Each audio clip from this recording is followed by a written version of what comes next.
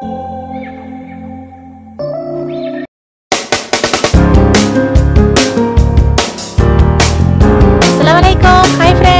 To our channel effigy news style எல்லாரும் எப்படி இருக்கீங்க? இன்றைக்கி நம்ம ஸ்ப்ரிங் பொட்டேட்டோ நம்ம வீட்டிலே நம்ம பண்ண போகிறோம் அதுக்கு நம்ம இப்போ தேவையான உருளைக்கிழங்கெல்லாம் எடுத்து வச்சுக்கலாம். இதை நல்லா நம்ம வாஷ் பண்ணிக்கலாம்.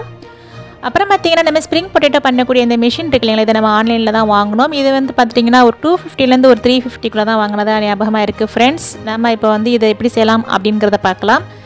இப்போ நம்ம வந்து ஒரு உருளைக்கிழங்கு நம்ம கையில் எடுத்திருக்கோம். பார்த்தீங்கன்னா இப்போ இந்த மிஷினில் வந்து இந்த பிளேடில் வந்து இந்த கம்பி வந்து ஃபஸ்ட்டு நம்ம வந்து செட் பண்ணணும். அப்புறம் நம்ம இந்த உருளைக்கிழங்கு சென்டர் வரைக்கும் வந்து நம்ம இதை நல்லா இப்படி குத்தி விட்டுக்கோங்க ஃப்ரெண்ட்ஸ்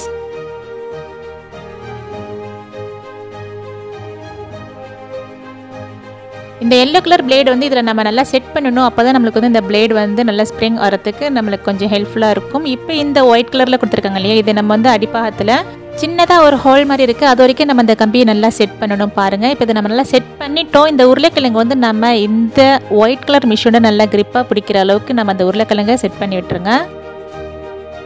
ஓகே இப்போ இது நல்லா செட் ஆகிடுச்சு நம்ம இப்போ இந்த எல்லோ கலர் பிளேட் இருக்கு இல்லைங்களா? இதுவும் வந்து இந்த உருளைக்குள்ள கிழங்குள்ளார வந்து போகணும். அந்த அளவுக்கு இதை நம்ம நல்லா டைட்டாக சுற்றி விட்டுக்கோங்க. பாருங்கள் இப்போ இதை ஆல்ரெடி நம்ம நல்லா வந்து ஃபுல்லாக பிளேடை வந்து இதில் செட் பண்ணிட்டோம். இப்போ நம்ம ஸ்ப்ரிங் பொட்டேட்டோ பண்ணக்கூடிய டைமிங் ரெடி ஆகிட்டு நம்ம இப்போ இதை நல்லா அந்த மாதிரி சுற்றி விட்டுடலாம் பாருங்கள் இப்படி பண்ணும்போது நம்மளுக்கு கொஞ்சம் நல்லா ஈஸியாகவும் இருக்கும் செய்கிறதுக்கு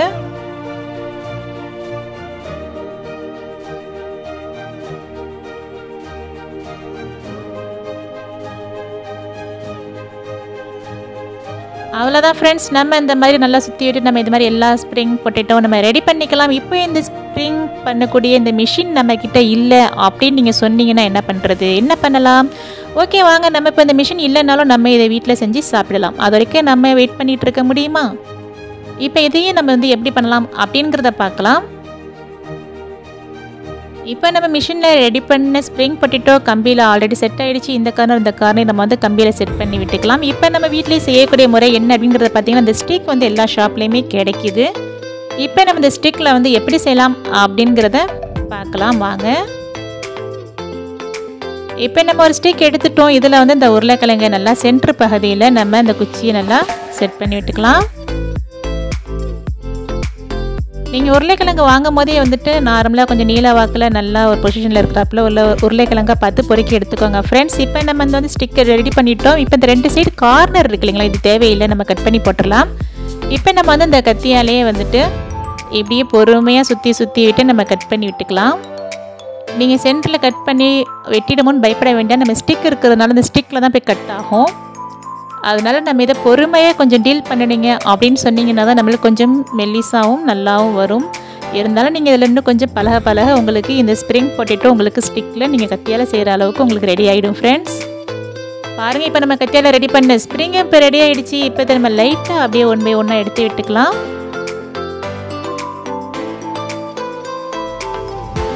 வீட்டில் ரெடி பண்ண ஸ்ப்ரிங் பொட்டேட்டோ ரெடி ஆகிடுச்சு இப்போ நம்ம இதுக்கு காரசாரமாக மசாலா வேணும் இல்லைங்களா? இதுக்கு நம்ம ஸ்பைசி பவுடர் ரெடி பண்ணலாம். வாங்க. ஸ்பைசி பவுடர் பார்த்தீங்கன்னா பழுத்த மிளகாயில் தான் நம்ம பவுடர் பண்ணுவோம். இப்போ அது நம்மக்கிட்ட இல்லைங்கிறதுனால நம்ம சிகப்பு மிளகாயை வச்சு நம்ம இப்போ ஸ்பைசி பவுடர் ரெடி பண்ண போகிறோம் இதை நம்ம ஒரு பத்து எடுத்து வச்சுக்கிட்டு நம்ம இதை கிரைண்ட் பண்ணிக்கலாம். இப்போ இதுவும் நம்மளுக்கு ரெடி ஆகிடுச்சு வாங்க ஃப்ரெண்ட்ஸ் நம்ம இப்போ ஒரு பிளேட்டில் மசாலா ரெடி பண்ணலாம். ஃபர்ஸ்ட் நம்ம வந்து மைதா மாவு நாலு ஸ்பூன் சேர்த்துக்கோங்க.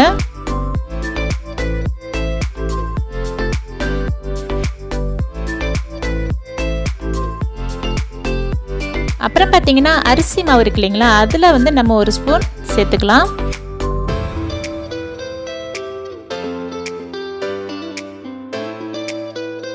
இப்போ நம்ம கார்ன்ஃப்ளவர் மாவு வந்து ரெண்டு ஸ்பூன் சேர்த்துக்கோங்க.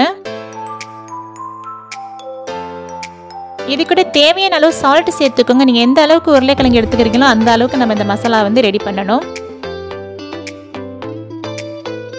இது கூட நம்ம வந்து ஒரு ஹாஃப் ஸ்பூன் வந்து ஜீரகத்தூள் சேர்த்துக்கலாம். சில பேர் வந்து சாட் மசாலா தூள் தூள் சேர்த்துப்பாங்க. அது வந்து நம்மளுக்கு வேண்டாம். அதனால் நம்ம வந்து வீட்டில் இருக்கக்கூடிய இயற்கையான முறையில் இருக்கக்கூடிய நம்ம மசாலா பொருட்கள் நம்ம எடுத்துக்கலாம். இப்போ நம்ம மிளகுத்தூள் ஒரு ஹாஃப் ஸ்பூன் சேர்த்துக்கலாம். காரம் உங்களுக்கு எந்த அளவுக்கு வேணுமோ அந்த அளவுக்கு நீங்கள் மிளகுத்தூளும் சேர்த்துக்கோங்க. அதே போல் ஸ்பைசி பவுடர் இந்த மிளகாய் பொடியும் வந்து நம்ம சேர்த்துக்கலாம்.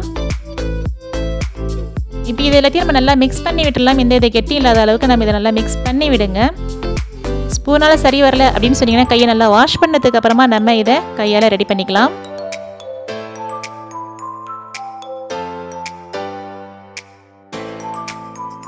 இப்போ நம்ம இதில் கொஞ்சம் கொஞ்சமாக தண்ணீர் சேர்த்து இதை வந்து நல்லா மிக்ஸ் பண்ணி விடுங்க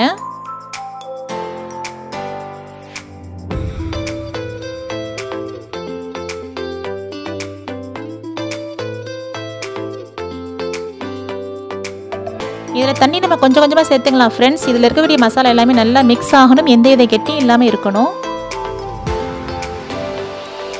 பாருங்கள் நம்ம இப்போ இதை நல்லா ரெடி பண்ணிட்டோம். இந்த மாதிரி லெவலுக்கு வந்து இது வரணும். அப்போ தான் வந்து உங்களுக்கு அந்த உருளைக்கிழங்குல இந்த மசாலா எல்லாமே நல்லா அப்ளை ஆகும்.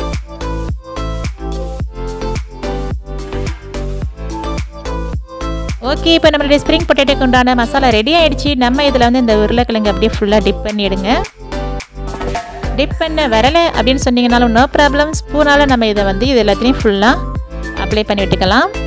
பாருங்கள் எல்லா இடத்துலையுமே வந்து நம்மளுக்கு இந்த மசாலா ரெடியாகணும்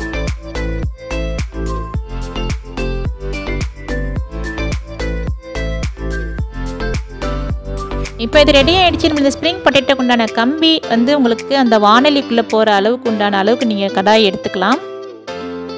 பாருங்கள் நம்ம இப்போ கடாயில் நல்லா சூடாகிடுச்சு எண்ணெயும் நல்லா இப்போ சூடாகிடுச்சு நம்ம ரெடி பண்ண ஸ்ப்ரிங் பொட்டேட்டோ நம்ம இதுக்குள்ளார போட்டு ஃப்ரை பண்ணலாம் ஃப்ரெண்ட்ஸ் நம்ம வச்சுருக்கிற கடாயில் நம்ம ரெட் பண்ணி வச்சுருந்த அந்த கம்பி வந்து செட் ஆகலை. அதனால் நம்ம வந்து ரெடி பண்ண இந்த ஸ்டிக்லேயே வந்து நம்மளுக்கு இதில் ஃபுல்லாக கவர் ஆகிட்டு அதனால் நம்ம ஸ்ப்ரிங்கில் பண்ணின எல்லா பொட்டேட்டோஸையும் எடுத்து நம்ம ஸ்டிக்கில் குத்திட்டு நம்ம ஸ்டிக் மட்டும் தான் போட்டு ஃப்ரை பண்ணிகிட்ருக்கோம்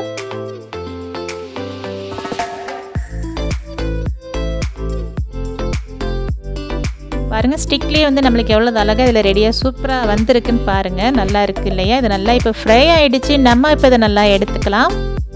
நல்ல கலர்ஃபுல்லாகவும் அழகாகவும் எம்மியாகவும் இருக்குன்னு தான் சொல்லலாம். அதே சமயம் டேஸ்ட்டும் நல்ல சூப்பர் டேஸ்ட்டாக தான் இருந்தது.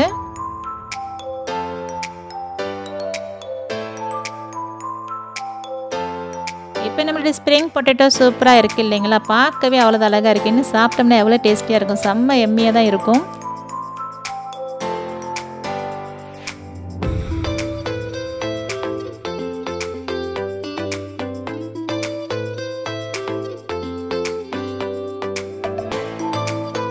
இது கூட பார்த்தீங்கன்னா நம்ம இப்போ வந்து மயனஸ் அண்ட் டொமேட்டோ சாஸ் வச்சு சாப்பிட்டோம்னு சொன்னால் இன்னும் வேறு லெவலாக இருக்கும் ஃப்ரெண்ட்ஸ் அந்த அளவுக்கு தான் இருந்துச்சுன்னு சொல்லுவேன் செம்ம டேஸ்டியாகவும் செம்ம எம்மியாகவும் இருந்தது.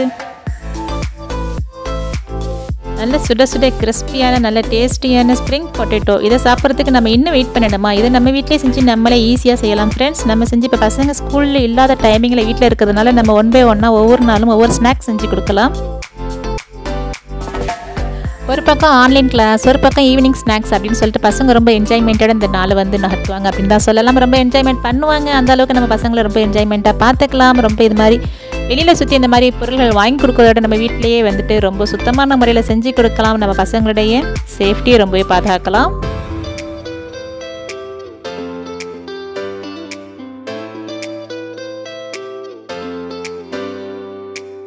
ஃப்ரெண்ட்ஸ் இப்போ நம்முடைய ஸ்ப்ரிங் பொட்டேட்டோ வந்து மைனோஸ் அண்ட் டொமேட்டோ சாஸோட செம்ம ரெடியாக இருக்குது அதுவும் சுட சுட கிறிஸ்பியாக இருக்குன்னு தான் சொல்லுவேன். நீங்கள் இதை இப்போது வீட்டில் செஞ்சு பார்த்து சாப்பிடுங்க. இப்போ நம்ம வீடியோவை லைக் பண்ணுங்கள் ஷேர் பண்ணுங்கள் கமெண்ட் பண்ணுங்கள் மறந்துடாமல் சப்ஸ்கிரைப் பண்ணுங்கள் சப்ஸ்கிரைப் பண்ண வந்தவங்க நோ ப்ராப்ளம் ஃப்ரெண்ட்ஸ் ஷேர் பண்ணி சப்ஸ்கிரைப் பண்ண சொல்லுங்கள் இப்போ நம்ம இந்த மாதிரி நல்ல வீடியோ நெக்ஸ்ட் வந்துக்கலாம். மாதிரி கேஃபி ஜெனி ஸ்டைல் பாய்